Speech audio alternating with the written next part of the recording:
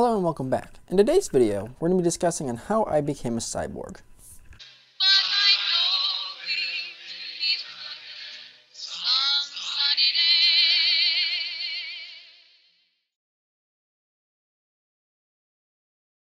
This little glass tube, which has some copper wire in it, a chip, and a ferrite core, one similar is embedded in my hand, specifically in my left hand, about this region. Those who watch my videos a lot know that I have gloves on normally, but there's a couple cases where you've seen my hands, and the astute viewers may have noticed something. Let's take off my glove and take a closer look at my hand. I have a small scar here, but nothing else is too noticeable until I push my hand up and then a little lump appears. This is in fact the chip. Now let's first discuss what RFID is. RFID is a technology that's been around for a couple decades now. It stands for Radio Frequency Identifier. It's a passive electronic, meaning there's no batteries in it. It works off of induction, where the induction powers it up and then allows the data to be read. So there's a little copper coil in there which is connected up to a chip. It's quite simple, actually. But then this one is coated in glass, which makes it biocompatible, and your body doesn't reject it, or an infection doesn't occur. Kits like this are meant for animals, but there are a few companies that make ones for specific humans, such as Dangerous Things. The chip that I have in my hand is made from Dangerous Things. It's an American-made country, and their packaging is really nice, and everything comes pre-sterilized, and it's very trustworthy. This one is meant for canines, and I was originally going to go with this one, but I saw Dangerous Things kit, and decided to go with them instead, as it seemed a little bit safer option instead of going with some random Chinese company. It's easy to mark out the location, but the chip will migrate in some cases, or it'll try to stay in the same spot. Now, how do you go about getting one of these chips put into your hands? Well, you can just order the kit from the Dangerous Things website and get it shipped to your door. You could put it in yourself like I did, but I don't recommend doing that. There's trained piercers throughout the country that can easily do this procedure in a much cleaner environment and in much safer conditions. And they know what they're doing. So what they'll do is first they'll wash your hands and make sure you're sterilized in beginning. Then they'll mark out where it needs to be injected. It injects right about here and you just mark out the location. Next you want to roll the skin, separate the top skin from all the blood vessels, and push in the needle. Now this is a quite large needle and I'm going to skip over the process where I actually inject it because people tend to not like giant needles going into their hands. And you take the needle out, put a band-aid on, and you're all good to go. It takes a couple months to heal, up to a year before you have complete healing done, but after a month you're able to do everything that you would be able to do before. Now because of the location, is it's actually protected. Now, the chip itself is not that fragile, but it is glass, biocompatible glass. Now, because it's right here, it's protected by a bone here and a bone here, and soft, squishy tissue here. So to break it, you would need an impact directly on it, and even if you have one of those impact, it'll move out of the way if installed properly, of course.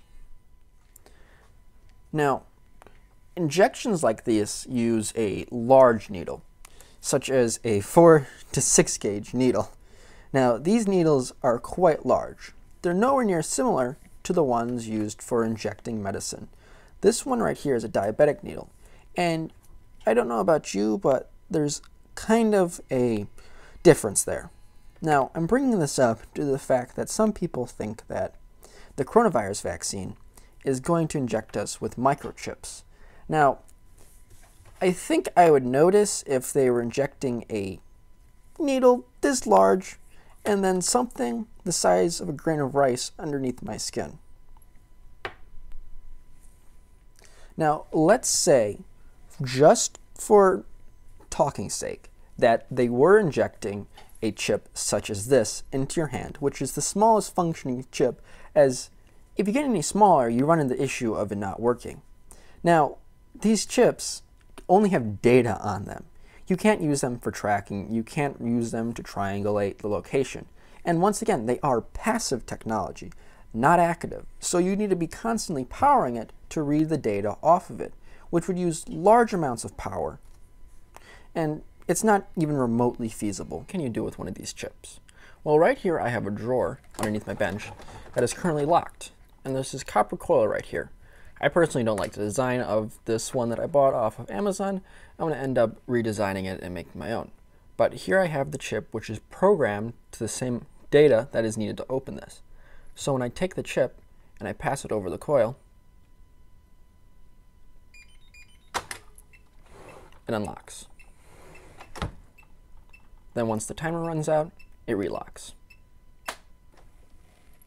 I have the same data that's on this chip onto my hand, so I can just pass my hand over this and open up the drawer. The important thing is these coils aren't really set up as good as they should be. We are limited by the size of it, because if we go any bigger, we can get better signal, but we'll also have a larger chip. So we're only able to get a few centimeters of read data, or make the chip bigger, which Dangerous Things has been working on making a bigger chipset. That affects it is how it goes on. The best way to do it is go perpendicular across it, because if you go parallel to it, it won't read. Up and down, it won't read. Sideways, it won't read. You have to be pretty dead on with it. The important thing that you need to understand about RFID technology is its radio frequency so it needs to be at a specific frequency to function. This one, the XEM, operates at 125 kilohertz. This is the one that's currently in my hand. But this only works at low frequencies on ones such as the drawer I just showed. But the XNT, which is an NFC one, which operates at 13.56 megahertz, which the NFC is enabled on most smartphones. So hypothetically, if you wanted to, you could put your banking information, your credit card, practically anything onto your hand and then just bring it up to your cell phone to authenticate or transfer data. You can even put a YouTube link to it. Now, should you get one of these or should you not? Well, I got one because I thought it was a pretty cool technology and I wanted to mess around with it. But if you're just a regular old person, you don't really need it but it's a cool thing to have where you make the door know that it's you instead of having to authenticate the door with like a key or something.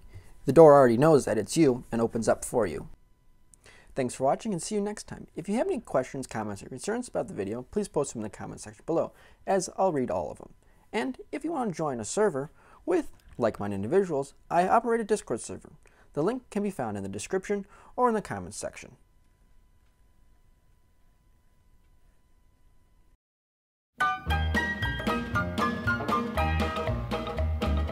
I don't know, but I've been told uranium ore's worth more than gold. I sold my cad, I bought me a Jeep. I got that bug and I can't sleep. Uranium fever has done and got me down. Uranium fever is spreading all.